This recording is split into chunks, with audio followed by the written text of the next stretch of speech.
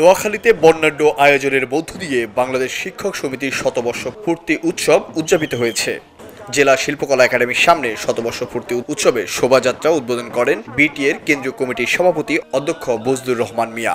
মুজিব বর্ষে মাধ্যমিক শিক্ষা জাতীয়করণ চাই এই স্লোগানে র্যালিটি শহর প্রদক্ষিণ করে। শিক্ষাক্ষেত্রে পরে হরিনারায়ণপুর ইউনিয়ন উচ্চ বিদ্যালয় মাঠে জেলা শিক্ষক সমিতির সভাপতি আবুল কাশেমের সভাপতিত্বে শতবর্ষ পূর্তি উৎসব অনুষ্ঠিত হয়। এ সময় প্রধান অতিথি হিসেবে উপস্থিত ছিলেন নোয়াখালী বিজ্ঞান ও প্রযুক্তি বিশ্ববিদ্যালয়ের উপাচার্য দিদারুল আলম।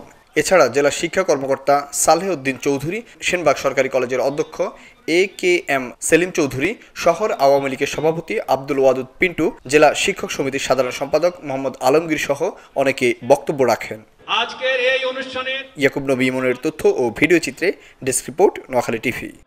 এখন নোয়াখালীতে শুরু হয়েছে ডিভাইস কসমেটিক খতনা আপনার সন্তানের জন্য শতভাগ নিরাপদ ব্যান্ডেজ মুক্ত রক্তপাত মুক্ত ইনফেকশন মুক্ত খতনা হবে এখন নোয়াখালীতে। খতনার প্রথম দিন থেকে রোগী গোসল করতে এবং স্কুলে যেতে পারবে। সেলাইবিহীন ব্যথামুক্ত ডিভাইস কসমেটিক খতনা করান।